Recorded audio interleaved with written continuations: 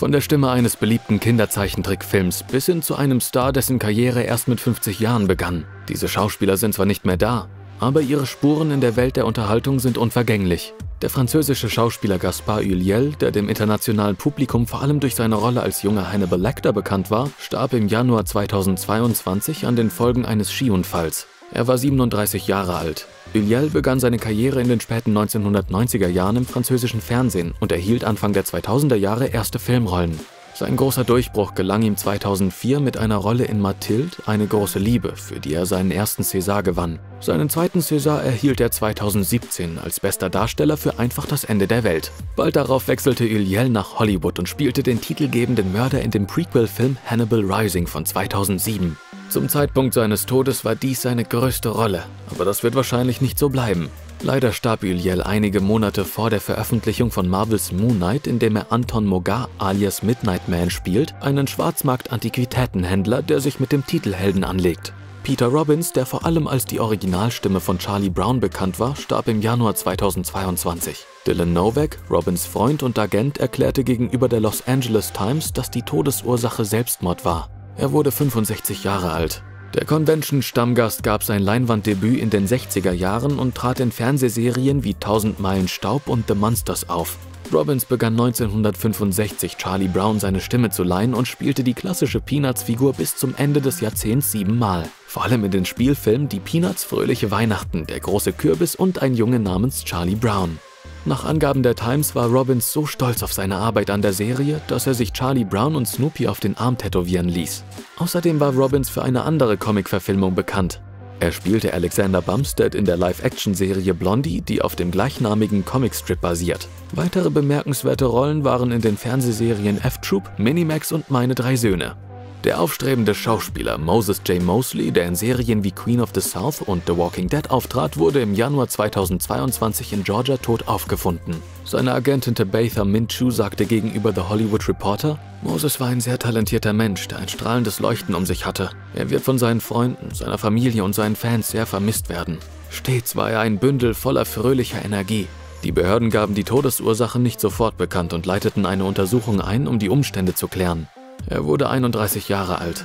Mosley arbeitete als Model, bevor er sich der Schauspielerei zuwandte. Er bekam seinen Fuß in die Tür mit einer Reihe von nicht anerkannten Auftritten in Filmen wie Back in the Game, Prakti.com und die Tribute von Panem Catching Fire.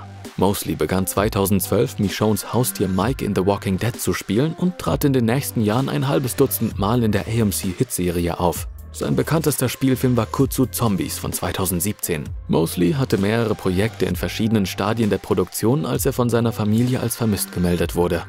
Robert Morse ist dem heutigen Publikum wahrscheinlich am besten für seine Rolle als Werbemann der alten Schule und Mitbegründer Burt Cooper in Mad Men bekannt. Mit dem Schauplatz in den 1960er Jahren, den Handlungen in der Geschäftswelt und einer sehr denkwürdigen Musiknummer bringt Mad Men Morses ersten Ruhm in Erinnerung. Für seine Rolle als zufällig erfolgreicher Fensterputzer, der zum Firmenstar J. Pierpont Finch wird, in dem Broadway-Musical How to Succeed in Business Without Really Trying gewann er 1962 einen Tony Award. Vor und nach diesem Durchbruch trat Moss in vielen anderen Bühnenproduktionen auf, darunter The Front Page und True, ein Ein-Mann-Stück über den Schriftsteller Truman Capote, für das Moss seinen zweiten Tony Award erhielt und einen Emmy für die Fernsehadaption. Auch in Film und Fernsehen war er jahrzehntelang zu sehen, unter anderem in Teen Titans Go, American Crime Story und der Filmversion von How to Succeed in Business Without Really Trying.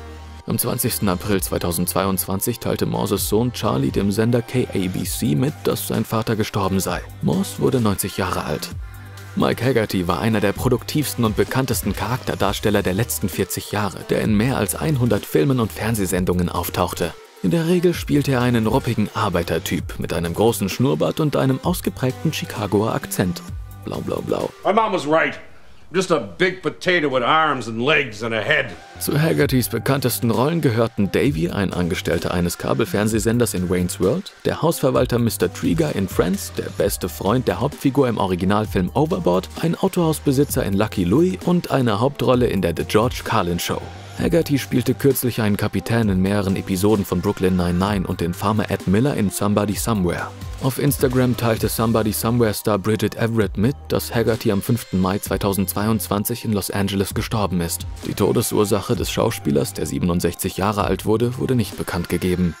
In seiner Karriere, die sich über mehr als 200 Rollen bis in die frühen 1970er Jahre erstreckte, wurde Philip Baker Hall zum Inbegriff eines Charakterdarstellers, der seine raue Stimme und seinen intensiven Blick in unzähligen Film- und Fernsehsendungen zum Einsatz brachte. Hall wurde erst relativ spät in seiner Karriere zu einem Liebling der Filmemacher. Dem Publikum ist er wahrscheinlich am besten als Lieutenant Joe Bookman bekannt, ein wortkarger Bibliothekskopf, der hartnäckig gegen Jerry Seinfeld wegen eines jahrzehntelang überfälligen Buches aus der gleichnamigen Show des Komikers ermittelt. Man kennt ihn auch als den einschüchternden, aber insgeheim netten Nachbarn Walt in Modern Family, als Dr. Morrison in Lusses Larry und als Nilpferd-Gastgeber Hank Hippopopoulos in Bojack Horseman. Drehbuchautor und Regisseur Paul Thomas Anderson besetzte Hall zudem in prominenten Rollen in Last Exit Reno und Boogie Nights. Wie Halls Tochter mitteilte, starb der Schauspieler am 12. Juni 2022 zu Hause in Glendale, Kalifornien. Hall wurde 90 Jahre alt. Gregory Itzin hatte eine lange Karriere als Charakterdarsteller, die mehr als 40 Jahre andauerte. Am bekanntesten wurde er jedoch durch seine Rolle in dem erfolgreichen Action-Drama 24. Itzin verkörperte Charles Logan, einen hinterhältigen Vizepräsidenten, der sich seinen Weg ins Präsidentenamt erschleicht. Für diese Rolle wurde Itzin zweimal für den Emmy Award nominiert. Einmal als herausragender Nebendarsteller in einer Dramaserie und einmal als Gastdarsteller, als er gegen Ende der 24-Serie zurückkehrte. Neben Rollen in verschiedenen Star Trek-Serien The Mentalist, Navy CIS, Covered Affairs und Friends hatte Itzin eine kleine Rolle in die unglaubliche Reise in einem verrückten Flugzeug von 1980 als ein am Flughafen arbeitender Sektenanwerber. Tragischerweise unterzog sich Itzin im Juli 2022 einer Notoperation, deren Komplikationen sich jedoch als tödlich erwiesen. Er wurde 74 Jahre alt. Tony Zirico, vielleicht der Inbegriff eines Nebendarstellers, der sich darauf spezialisiert hat, elegante, aber einschüchternde Mafiosi zu spielen, fand die Rolle seines Lebens als Paulie Walnuts in der weltweit gefeierten modernen Mafiasaga Die Sopranos von HBO. You do what you're told. Er spielte ähnliche Rollen in Goodfellas, Bullets Over Broadway und Geliebte Aphrodite. Seine erste Filmarbeit war eine Statistenrolle in Crazy Joe, einem Drama über das organisierte Verbrechen. Sirico wandte sich der Rolle fiktiver Gesetzesbrecher zu, um einem realen Leben voller Verbrechen zu entkommen. Als Kind und junger Erwachsener wurde er 28 Mal verhaftet. Außerdem hatte er Verbindungen zur Verbrecherfamilie Colombo. In den letzten Jahren und nach Die Sopranos nutzte Sirico sein Image und seine Neigung, typisiert zu werden, indem er harte Charaktere in Comedy-Sendungen Sendungen spielte, wie einen Gangster in American Dad und einen ruppigen Hund in Family Guy. Siricos Manager bestätigte gegenüber den Medien, dass der Schauspieler am 8. Juli 2022 gestorben ist. Er wurde 79 Jahre alt. Paul Savino arbeitete in den 60er und 70er Jahren in Charakterrollen und auf der Bühne. 1973 erhielt er eine Tony-Nominierung für That Championship Season am Broadway. Nach einer Hauptrolle in dem kurzlebigen Die Straßen von San Francisco Spin-off Superstar spielte Savino seine Rolle als Phil Romano in der Filmversion von That Championship Season erneut. Das war sein schauspielerischer Durchbruch. 1990 erhielt Savino Rollen in großen Filmen, die zu seinem Markenzeichen werden sollten. Der Gangster Lips Manless in der Verfilmung von Dick Tracy und der väterliche berechnende Mafiaboss Paulie Cicero in der Verbrechersaga Goodfellas. Neben Kriminellen spielte Savino auch viele Autoritätspersonen, wie einen Sergeant zu Beginn der Serie Law and Order, Julias Vater in Baz Luhrmanns Romeo plus Julia, Henry Kissinger in Oliver Stones Nixon und Frank Costello in Godfather of Harlem. Savino starb am 25. Juli 2022. Nach Angaben des Publizisten des Schauspielers war ein natürlicher Grund dafür verantwortlich. Savino wurde 83 Jahre alt. Tony Dow ist vor allem durch eine Rolle in Erinnerung geblieben, die er schon früh in seinem Leben und in seiner Karriere gespielt hat. Von 1957 bis 1963 spielte er den blitzsauberen 50er-Jahre-Teenager Wally Cleaver in Erwachsen müsste man sein, eine Erfolgsserie des goldenen Fernsehzeitalters.